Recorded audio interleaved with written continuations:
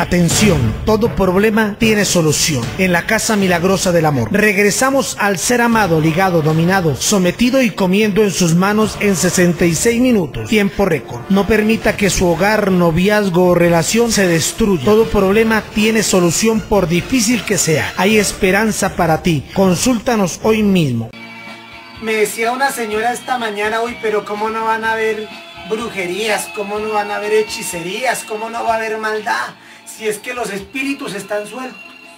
Y le decía yo, ¿por qué, hermana? ¿Por qué dice usted esas palabras? Me decía ella en consulta privadamente, me dice, dice, vengo del campo, de cierta parte X o Y.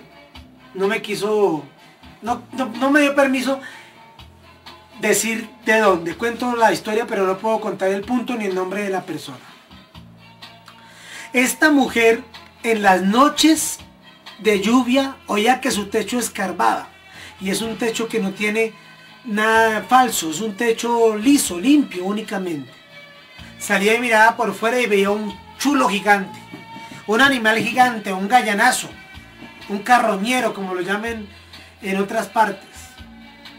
Era una bruja, una maligna que se transformaba en animal para venir a hacerle daño a esta mujer, la privaba. Y al hijo de ella, al hijo menor de 14 años, lo manoseaba, lo chuponeaba, lo sadiqueaba por medio de brujería.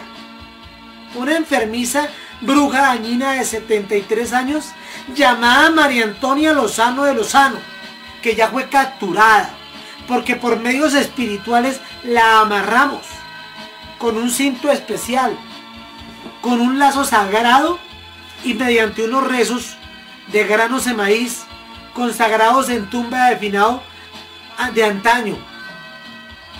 Usted que oye voces, que siente pasos, que ve luces, que vive en casas antiguas, o que vive en una casa donde una persona haya sido velada, o donde una, una persona furibunda haya estado los últimos días de su vida, siente pasos, esto le llama energías negativas.